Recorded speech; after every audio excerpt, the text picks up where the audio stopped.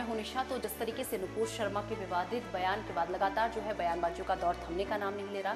इसी कड़ी में आपको बता दें कि कांग्रेस नेता सचिन पायलट ने भी नुपुर शर्मा को लेकर बीजेपी पर निशाना साधा है। आपको बता दें कि कांग्रेस नेता जो सचिन पायलट है, उन्होंने कहा कि जब देश के लोग अपनी आवाज़ उठा रहे थे, नुपुर शर्मा ने जो विवादित बयान दिया था, उसके बाद जब उन्होंने अपनी आवाज़ उठाई तो सरकार के कानून में जू तक नहीं रहेंगे और सरकार के द्वारा कोई एक्शन यहाँ पर नहीं लिया गया।